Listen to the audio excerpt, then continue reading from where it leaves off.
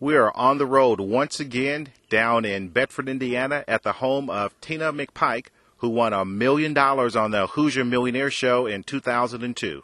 When I hit the million and 22,000, I was just overwhelmed. And the first thing that came out of my mouth that my husband will not let me forget is I will go and buy him a Harley Davidson. And I did. So you did fulfill And I that did. dream for yes, him. I did.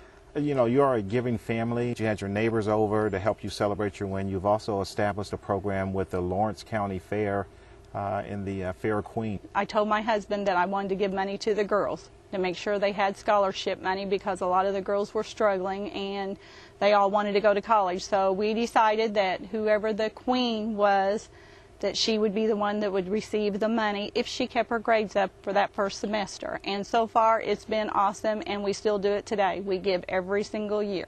Life is good. Life is real good right now. Yes.